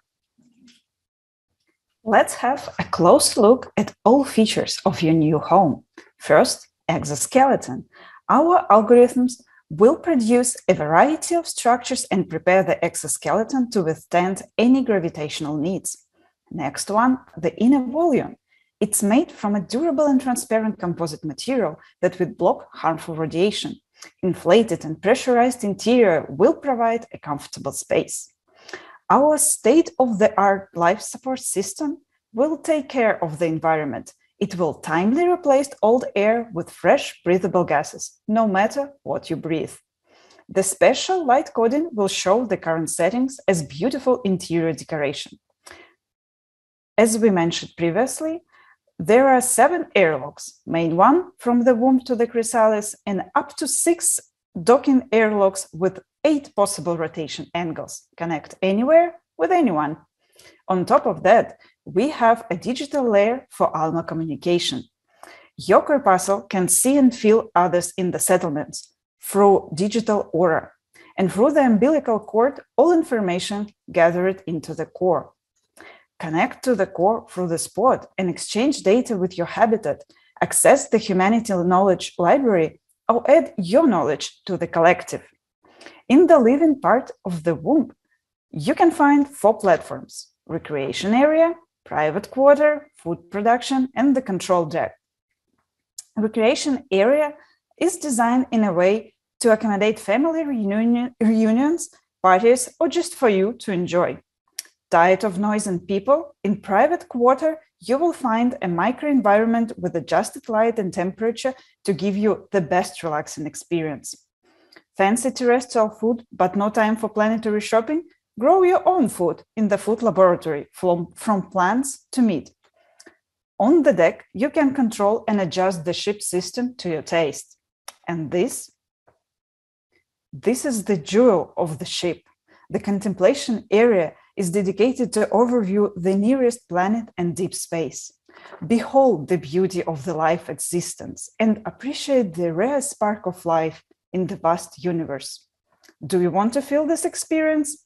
Order your living unit today. Call now. We accept morphine coins. Thank you. Thank you so much. Love the presentation. Thank you so much. just just a disclaimer: there there's no morphine coins, so don't please don't. it's in the future. if someone has made a morphine coin crypto, it might be a scam because it's not from us. So please yeah, don't. this is a good point. please don't go and buy some morphine coins because we, We don't nothing. certify yeah, thank you so much. That was uh, yeah awesome as usual. All the teams today. Um, yeah, and um, just you know, just a, reminder that I mean that's that's just five of what twenty groups. Um, all fantastic projects, um, but we can't sit here all day. Uh, um, yeah, and all super unique and, and interesting. So yeah, I don't know if you have anything else to say. Uh, there is one question about software there. Um, just if Oh, you want to know, if you want to know f- for our project, we for the first part, the first chapter, we use just Maya and Keyshot for rendering, and for the second chapter, we And use. ZBrush. Uh, sorry, and ZBrush. Sorry, and for the sec- second chapter, we use again Maya, um, ZBrush, and we introduce Grasshopper there. Um, but our render part was in Arnold. Yeah, Oh, we yes, I to forgot to men- use I forgot to mention Arnold, right? Arnold and V-Ray. I always, forget Yeah. that. Yeah, we try to use uh, everything that software in the program um, offered us. We just literally ju- try every render software we can use here, and every software we just uh, play as much as we can here. It's it's a it's a great environment for that. Just you know, experimentation. Well, thank you. Uh, I'll put you back.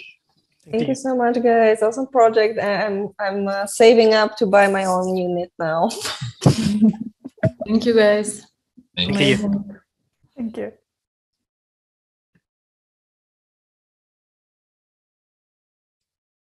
So that's that was it for our presentations uh, portion. Um, and I believe we've given all the information I can think of. Um, I would just like to remind everyone uh, to please check out the website uh, if you haven't um, in detail, especially that Q and A section too. There's a lot of things answered there. Um, so I'm just gonna, of course, just drop the link here. Um, definitely check out that Q and A portion. Reach out to us anytime. We're we're always available. Um, we do a lot of one-to-one Zooms. Um, even a lot with our current students before they joined. Uh, we did it, and we've been doing it for the past um, few weeks now. Um, a lot of meeting with with you know potential new students interested. Um, so you can always reach out to us at masters at designmorphine. I just sent it in. Yes, right. And just request a one-to-one. Um, we're available, and it's the it's really the easiest way to answer your questions rather than like text and back and forth. Like just jump in a, Zoom call with us, and you know we'll ask whatever you want, and we'll you know answer answer your questions.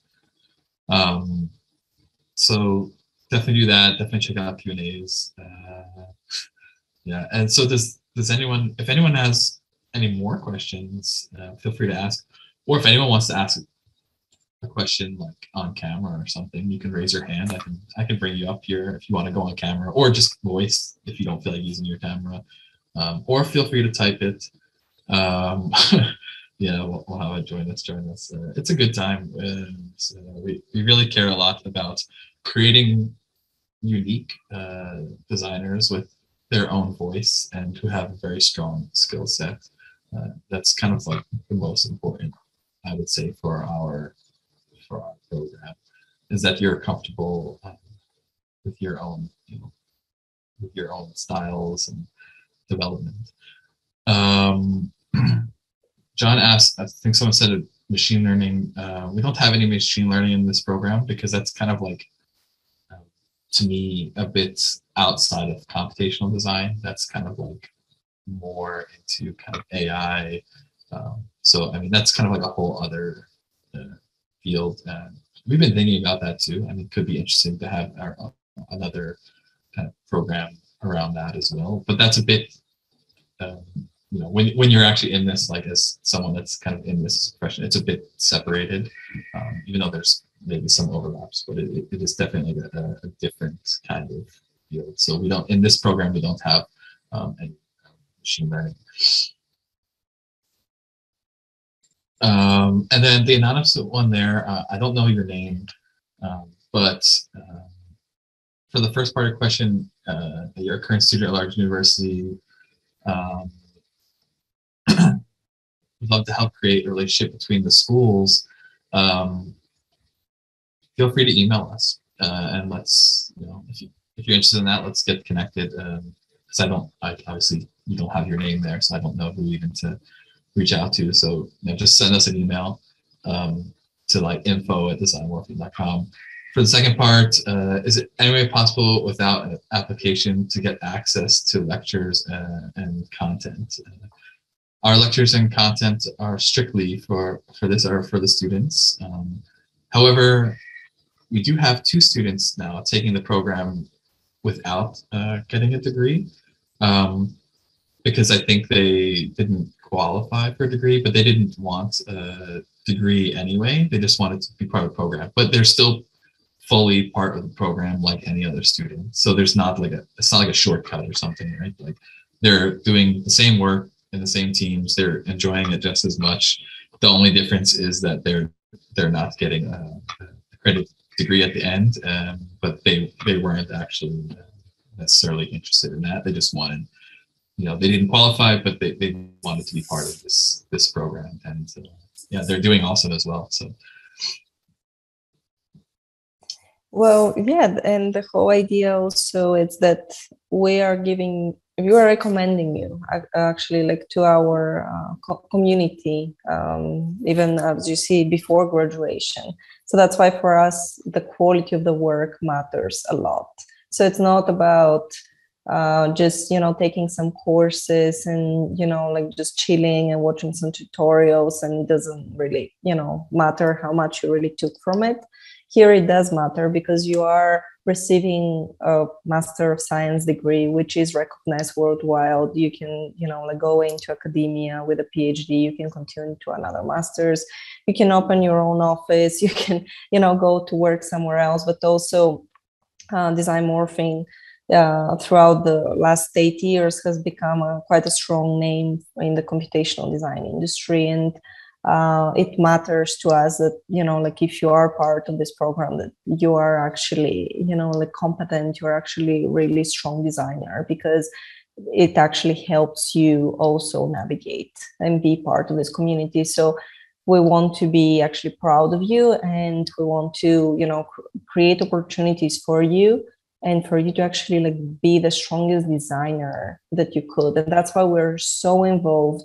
And to be honest i've been i've been uh, around a few uh, education uh, educational institutions and i can say that i haven't seen a master's degree that it's so involved right? The whole community all the educators the core leads like uh, mentors they're like so passionate about like you know the program and what we do and we care so deeply and you can see that even with the projects of the students right? Like this is two out of five chapters uh, work uh, right? Like they're they're not even in the middle of, of their you know like uh, journey and they're killing it and so many of them haven't even touched you know like software uh, this kind of softwares before had uh, experiences like that so that's why for us, really, this matters a lot because we want to see you guys really killing it out there.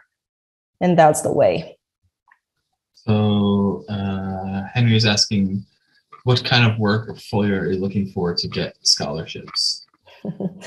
Good one. Well, I would say that like it needs to be something, right? Like representing your own voice uh, in your own perspective? Because at the end of the day design is very uh, personal experience. Like it's not something that you could just um, you know like a copy from somewhere else.